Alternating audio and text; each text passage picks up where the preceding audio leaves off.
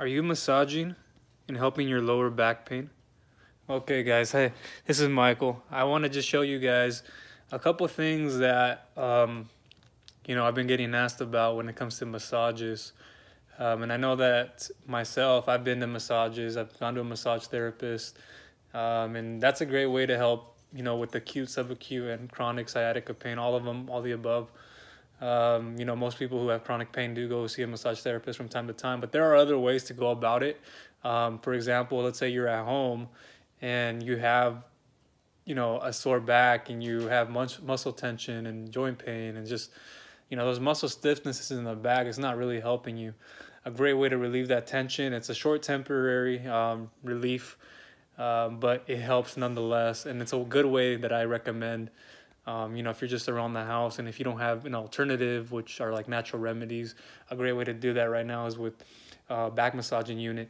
And I have one right here myself. I Just want to go over a couple couple of ones that I have. It's, this is called the Homedics one. Um, this is a great handheld massager.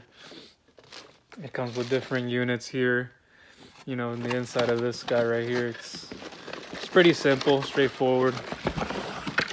Um, it's got more pieces in here that get attached to the end of the massaging unit and I'm going to show you how that looks. Here it is right here.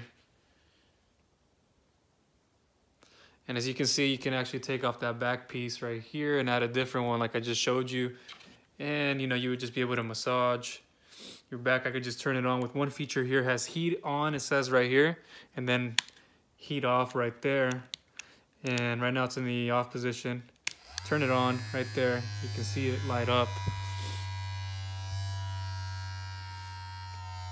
And it's very powerful, you could already tell by the sound of it. Oh yeah, look at that. I put some of this right here on my shoulder. I can rub it up like that, come back down to the end of my shoulder. And just want to show you guys how you can do that for your back you know, if I have a if I have to reach, excuse me, if I have to reach somehow, I'm trying to position this. Um, but if I want to reach down here, you know, I can go to the back. Right now I'm working my upper back right now. Go through the thoracic spine. Work my way up to my the cervical, the neck. And then I can make my way back and then I could just turn my hand like this, down like that, towards me, and then there you go. Nice and gentle. You know, you want to work from either starting the left side of your uh, lower back or the right side. Try not to go directly for that spinal area. I mean, I know a lot of us who will have sensitivity and pain and disc ruptures and, you know, bulging discs thinning discs, etc., degenerative discs, um, herniated.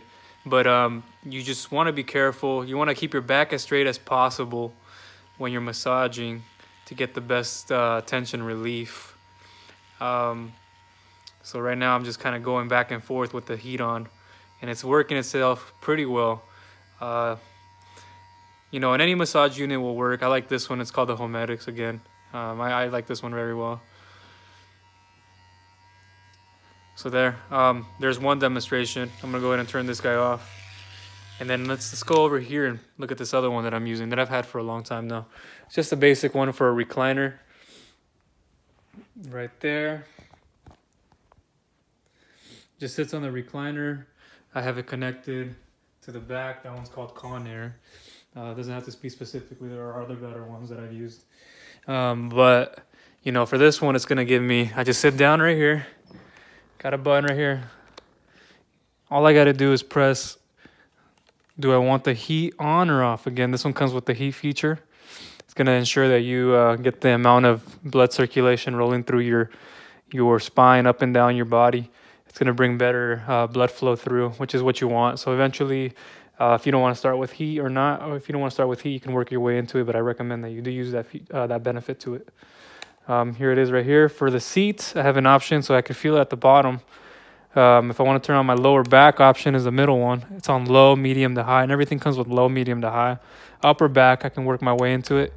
I like using all of them at once. But whenever I want to just target my back or my lower back, I just go ahead and use that one first and I'll turn off the rest of them. So I'll say here maybe for sometimes I do sit longer. I mean, 15 to 25 minutes is acceptable. Um, 30 minutes is, is all right. Um, I always like the longer the better. Just feels better that way.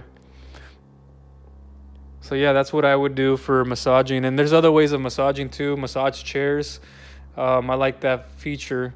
I'm not in one right now, but I'll show you what the possibility of having one. Um, you know, a lot of us who want to have a massage, the best way to get a massage is to sit in low, zero gravity. So if I'm leaning back all the way like this, where I'm at, an, at a straight angle, which most chairs go back to, uh, I'm going to be able to get that pressure relief in my back. It's going to feel really good with zero gravity. And that's what a lot of good uh, massage chairs do. Not all of them do that, but they all target a different point and they're much stronger. So um, I do like those for other reasons.